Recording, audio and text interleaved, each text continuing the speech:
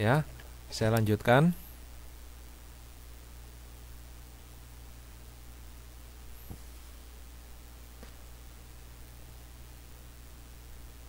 Saya lanjutkan ya. Modul 6 estimasi. Ini uh, sampai modul berapa ya? Modul 7 dan 8 kita selalu menggunakan tabel Z dan tabel T ya modul 6 ini kita menggunakan juga tabel T. Nah ini ada suatu populasi ya populasi. Kemudian saya ambil sebagian ya. Nah, hasilnya ini adalah sampel ya. Bentar.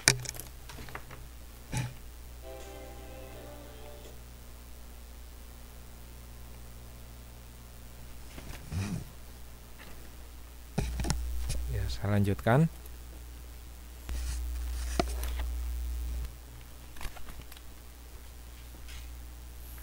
Nah, di populasi itu ada rata-rata, average, rata-rata, to mu, sedangkan di sampel, ya, namanya statistik. Kalau di populasi, namanya parameter. Itu ada X bar ya X bar atau Y bar tergantung dari uh, variabelnya. Tapi biasanya selama ini saya menggunakan X bar ya di buku ini juga. Kemudian ada varian. Varian masih ingat varian adalah apa? Varian adalah sigma kuadrat ya bukan sigma. Kalau sigma itu adalah standar deviasi sigma ya. Lah di statistik juga gitu variannya adalah s standar deviasinya eh, ini adalah s kuadrat standar deviasinya adalah s ya. Masih ingat kan? Apa itu varian? Varian adalah apa? Adalah akar. Eh kok akar? Apa namanya? Penjumlahan kuadrat jadi misal dari data dengan rata-ratanya. Misalnya kalau ini saya pakai populasi berarti data pertama X1 dikurangi dengan mu ditambah dengan X2 oh dikuadratkan ya jangan lupa. Dikurangi dengan mu tambah dan seterusnya sampai berapa populasinya X N. N besar ya kalau populasi. Dikurangi dengan mu dibagi dengan apa? Jumlah populasinya.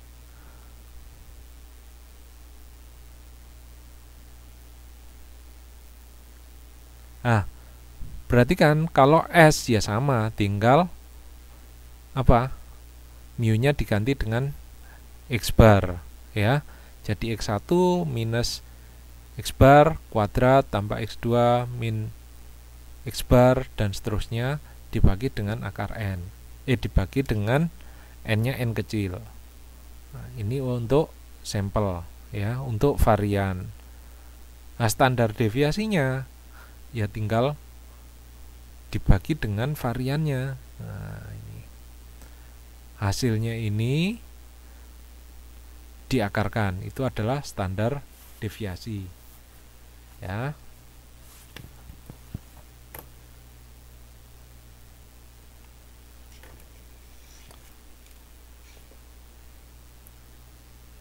Nah,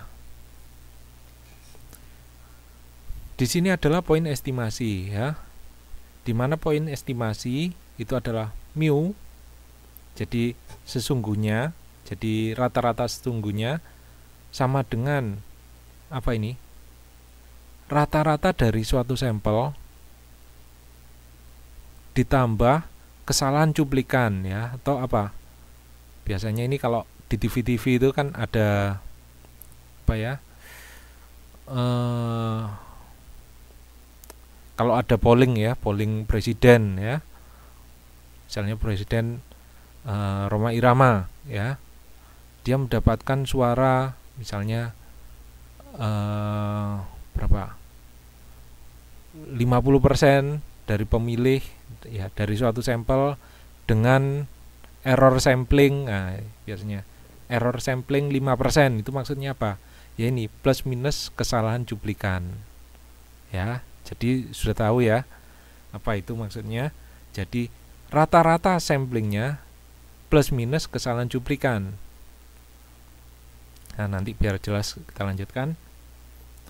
Kesalahan cuplikan atau error sampler nah,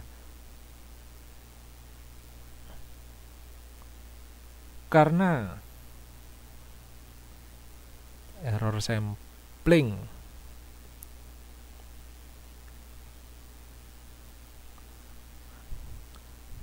karena kecuplikan ini dianggap normal baku ya maka sama dengan plus minus kesalahan baku Z ya. Misalnya ini. Bila diinginkan 95% confident interval atau 95% derajat kepercayaan ya atau misalnya 0,5% error sampling nah itu. Biasanya kan kayak gitu. Dengan error sampling 5% misalnya seperti itu berarti apa? Itu sama aja dengan 95% confident interval ya. Nah mu-nya sendiri itu didapat dari mana? Itu x plus minus 1,96 ini sigma x ya ini sigma x bukan sigma, bukan alpha. Sigma kita bicara sigma sigma x. X bar plus minus z ya z nya ini berapa? Ini dengan kepercayaan yang diinginkan. Kalau 95% itu 1,96 itu didapat dari mana? Ya kita lihat. Nah ini mungkin nanti di ujian ya ujian. Ujian kan sebentar lagi ya. Ini sudah pertemuan ke 6 ya. Pertemuan ke 6 minggu depan pertemuan ke 7 cuman saya nggak bisa kayaknya kemudian pertemuan ketujuh ada pertemuan ke-8 ya sudah berarti ujian ya. Harus siap enggak siap harus siap. Nah, nanti biasanya ya dari dua tahun lalu pengalaman dua tahun lalu di soal itu tidak disediakan tabel Z ya. Tapi kita bisa mengingatnya ya. Yang ingat yang gampang-gampang saja. Misalnya kalau Z-nya itu satu berarti presentasinya adalah 34%. Ini kalau Z-nya satu Ya. Kalau Z-nya dua itu presentasinya berapa ini? 34 tambah 14% ya. Jadi probabilitas maksudnya gini. Z kurang dari satu maka ininya adalah 34 persen. Ya luasnya atau probabilitasnya. Dan probabilitas Z kurang dari dua itu berapa? Ini 34 tambah berapa itu? 14 persen. Atau berapa ini 48 ya. 48 persen. Terus kemudian ada lagi nih 1,96 apa maksudnya ini? Itu kalau probabilitas Z kurang dari 1,96 maka dia adalah berapa ini? Dia di sini adalah 47 persen ya. Terus ada lagi probabilitas Z kurang dari 3 sama dengan 48 tambah 2 ya. Berarti berapa? Ini sudah mendekati kalau 3 sudah mendekati 50 ada lagi nih 2,58 ini kalau berapa ini? 2 persen. Wes nggak usah. Ini aja yang dihafalkan. 1 34 persen. 2 48 persen. Terutama yang ini.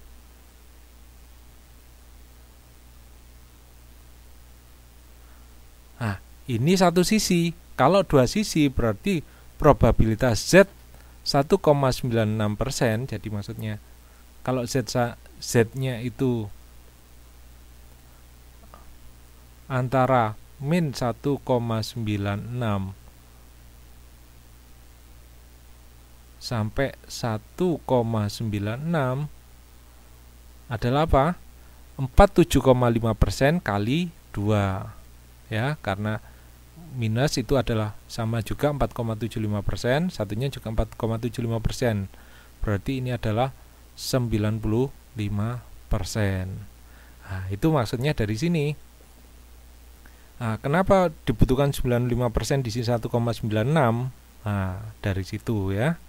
Jadi mu-nya sama dengan x plus minus 1,96 dikalikan dengan sigma x ya. Nah, kalau misalnya dicari misalnya eh, derajat kepercayaan 90%, ya berarti apa? 90% bagi 2 0,45 dicari setnya berapa ya? Itu.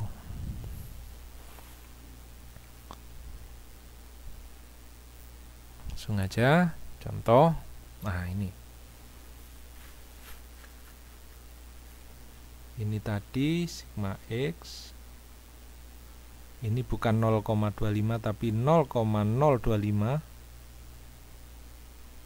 tahu ya setnya kenapa Z 0,25 karena apa?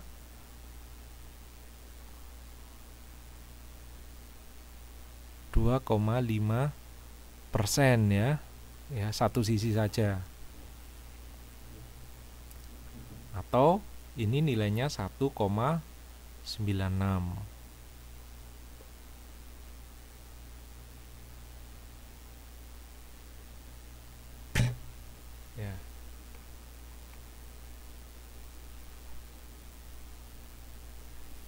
Dari nah ini contoh di halaman 6.23.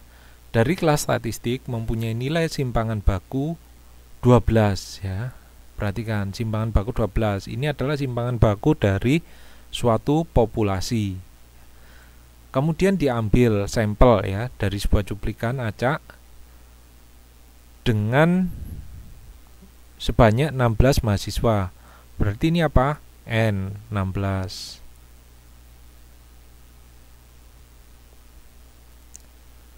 menghasilkan X bar 58 ya.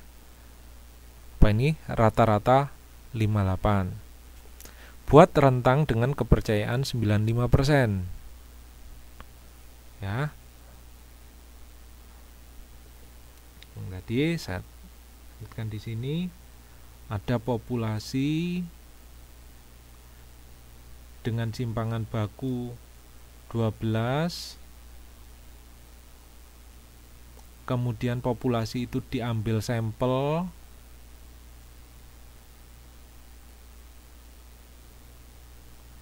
dengan uh, diambil sampel sebanyak n sama dengan 16 kemudian ketemu rata-ratanya di sini rata-rata sampel adalah 58 buat rentang kepercayaan ya. Buat rentang kepercayaan 95%. Jadi confident intervalnya adalah 95%. Nah, itu bagaimana? Ya tinggal dicari aja pakai rumus yang tadi ya. Yang tadi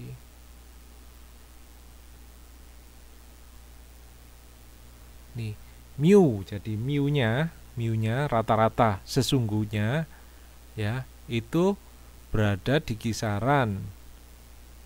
Mu-nya berada di kisaran berapa? X bar plus minus ya. Karena confident intervalnya 90% maka ya karena ini dua sisi maka saya menggunakan Z 0,025 ya. Dikalikan dengan apa dikalikan dengan sigma x ya sigma x. Di mana Z 0,025 ya ini nggak usah dilihat tabelnya. Nggak usah dilihat tabelnya. Ini pasti ketemu 1,96 ya. Dihafal ini 1,96 kalau nggak percaya kita ke tabel dulu ya Pak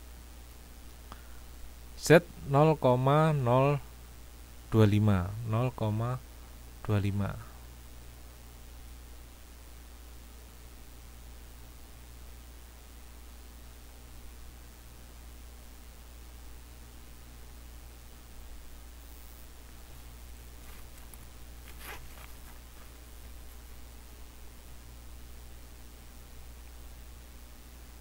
2,0 sih sih mana tadi?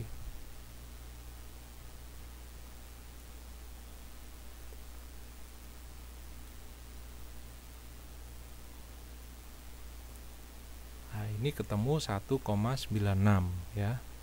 Ini kan setnya 1,96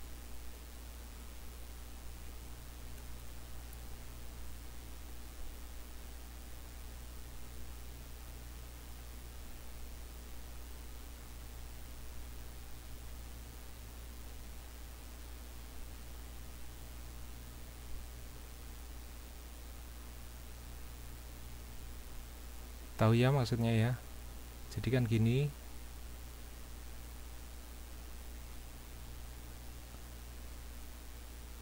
Dengan CI 90 berapa tadi? 95 persen. Nah ini berapa? Ini cari. Dikurangi dari 0, ini kan di paruh ketemu 47 5 persen ya.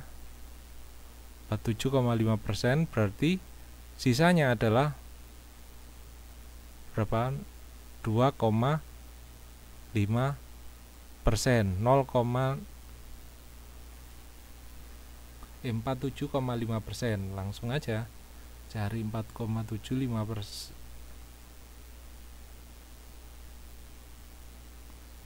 nah ini nanti ketemu 0,96 tuh. 1,96 nah ini. 1,96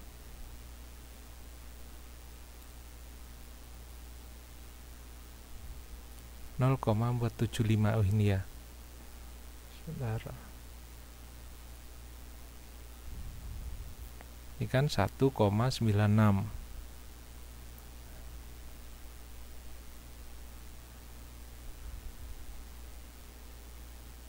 ya ini kan 0,475 ya.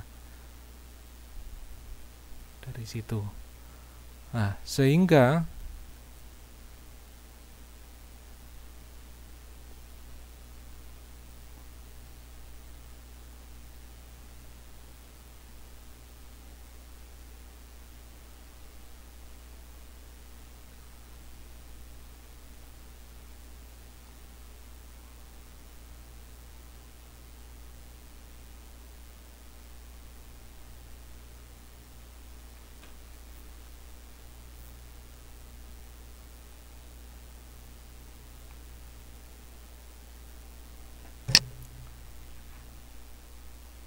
X-nya itu adalah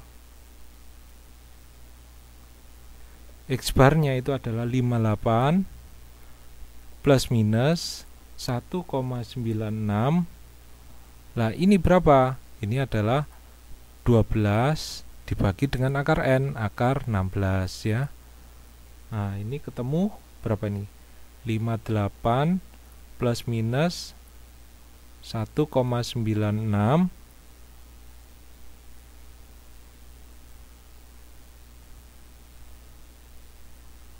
12 bagi 16 itu 4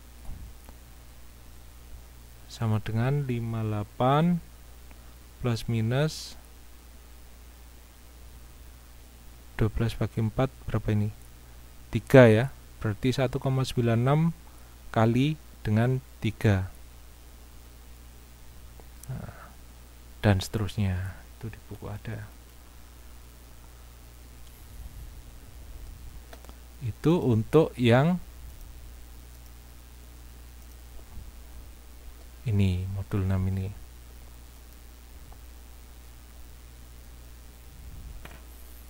Ah sampai di sini ada pertanyaan?